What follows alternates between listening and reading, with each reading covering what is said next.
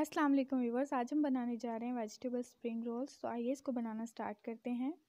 सबसे पहले हम एक कढ़ाई ले लेंगे और उसमें थोड़ा सा कुकिंग ऑयल शामिल कर लेंगे। स्प्रिंग रोल को बनाना बहुत ही आसान है। आप इसमें अपनी मर्ज़ी से कोई भी सब्ज़ियाँ शामिल कर सकते हैं। जब ऑयल गर्म हो जाएगा तो इसमें वन बाय वन सब्ज़ियाँ डाल के हम इसको पकाएँगे। ऑयल गर्म होने के बाद सबसे पहले मैं यहाँ पे मटर शामिल करूँगी। क्योंकि मटर को पकने में थोड़ा सा टाइम लगता है तो इसलिए सबसे पहले हम इसमें मटर शामिल करेंगे। इसको मिक्स करेंगे। मैं यहाँ पे चार तरह की सब्ज़ियाँ इस्तेमाल कर रही हूँ, मटर, गाजर, शिमला मिर्च, बंद गोभी। और इसमें हम चिकन भी शामिल करेंगे। मटर डालने के बाद इसमें मैंने गाजरें डाल दी हैं। गाजरों को मैंने मोटा कद्दूकश कर लिया था। आप इसको बारीक चॉप भी कर सकते हैं। गाजरें और मटर थोड़ा सा पकने में टाइम लेते हैं, इसलिए पहले मैंने इनको थोड़ा सा पकाया है। तकरीबन तीन से चार मिनट हम इसको पकाएँगे। इसके बाद इसमें हम शिमला मिर्च, जो कि बारीक कटी हुई है, छोटी और बारीक कटी हुई है, चॉप नहीं की हुई तो इसको हम इसमें शामिल कर देंगे और मिक्स करके अच्छे से पका लेंगे। अगर आपको मेरी वीडियोस अच्छी लग रही हैं तो मेरे channel easy lifestyle with Nida को सब्सक्राइब कर लें और बेल के आइकन को दबा दें ताकि हर नए आने वाली वीडियो आपको मिल सके। सब्जियों के साथ यहाँ पे हम चिकन भी शामिल करेंगे। चिकन को मैंने पहले से ही बॉईल कर लिया था, थोड़ी सी काली मिर्च और नमक डाल के और जब वो ठंडा हो गया था, उसको इस तरह से हमने छोटे छोटे पीसेस में डिवाइड कर लिया है। आप भी इसी तरह से चिकन को बॉईल करेंगे। अगर आपके पास काली मिर्च नहीं है चिकन बॉईल करने के लिए तो आप सिर्फ़ इसको नमक डाल के भी बॉईल कर सकते हैं।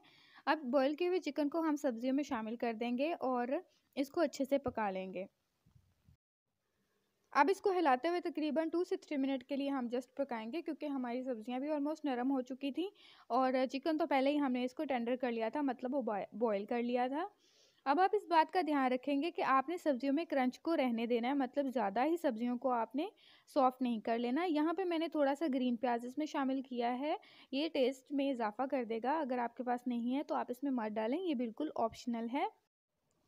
अब लास्ट में हम इसमें बंद गोभी शामिल कर देंगे। बंद गोभी लास्ट में मैंने इसलिए शामिल की थी क्योंकि ये बिल्कुल भी पकने में टाइम नहीं लेती। अब हम इसमें स्पाइसी शामिल करेंगे। सबसे पहले हम इसमें नमक शामिल कर देंगे। मैंने यहाँ पे हाफ़ टी स्पून नमक लिया है। चिकन में भी नमक था क्योंकि हमने इसको बॉईल किया था और हाफ़ टी स्पून हमने इसमें ब्लैक पेपर शामिल किया है। चिकन के नमक की वजह से यहाँ पर पहले हम थोड़ा नमक शामिल करेंगे, बाद में इसको चेक करके और शामिल कर लेंगे। टू से थ्री स्पून मैंने यहाँ पे सोया सॉस ली है।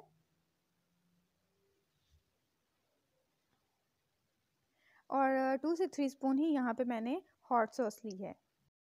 फ्लेम आप बिल्कुल ही स्लो रखेंगे, ज़्यादा हाई नहीं होगी क्योंकि सब्ज़ियाँ हमारी ऑलमोस्ट पक चुकी हैं। अब हमने सिर्फ़ इसको मिक्स करके तकरीबन एक से डेढ़ मिनट के लिए यहाँ पे पका लेना है ताकि हमारे सॉस और नमक वगैरह इसमें अच्छे से मिक्स हो जाएँ।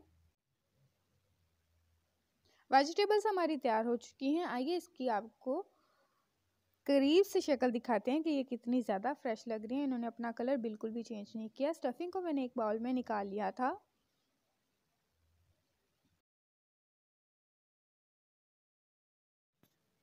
वेजिटेबल स्प्रिंग रोल की हम यहाँ पे पट्टी तैयार कर लेंगे। पट्टी के लिए हम यहाँ पे मैदा लेंगे। मैदे में तकरीबन हाफ़ टी स्पून हम नमक शामिल करने के बाद तीन से चार चम्मच इसमें कुकिंग ऑयल शामिल कर देंगे और हल्के हाथों से पहले इसको मिक्स कर लेंगे।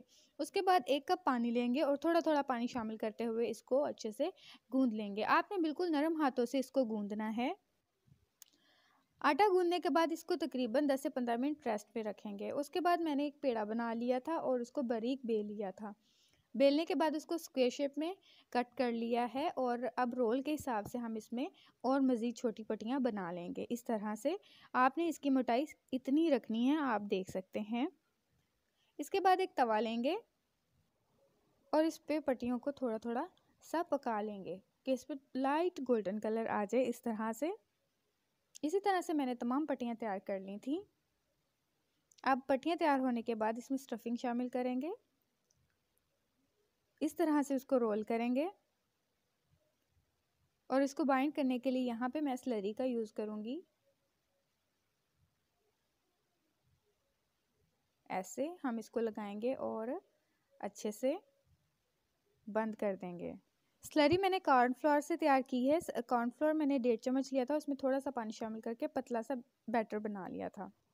रोज़ मैंने स्टफिंग ऐड करके तमाम तैयार कर लिए थे। पैन में ऑयल गरम करेंगे। आप ऑयल इतना रखेंगे कि हमारा हाफ़ रोल इसमें बाहर हो और हाफ़ अंदर हो। ज़्यादा इसमें ऑयल शामिल नहीं करेंगे और इसको अच्छे से वन बाय वन डालेंगे और पका लेंगे। लाइट गोल्डन होने तक हम इसको पकाएँगे। इसके बाद मैंने इसको डिश आउट कर लिया था। अब आप इसकी फ़ाइनल लुक देख सकते हैं।